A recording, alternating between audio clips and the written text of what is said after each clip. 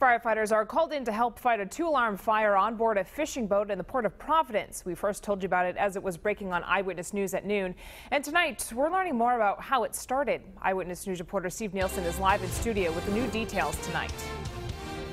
70-foot fishing vessel was engulfed in flames just as firefighters arrived on scene just after 11 this morning. And now we've learned a welding mishap is what's to blame.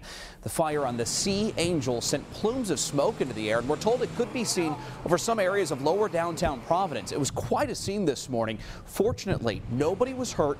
A delivery driver tells us he could see smoke and flames all the way from the highway. I come down the highway, I see billows of smoke, and I says, just my luck, it's going to be right where I'm going.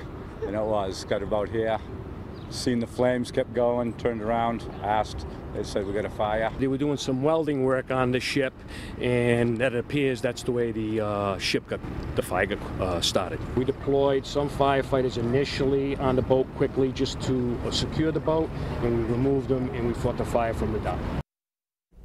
And the fire chief also told us the department's new foam pumper truck was also called in to help extinguish the flames. I'm Steve Nielsen, Eyewitness News.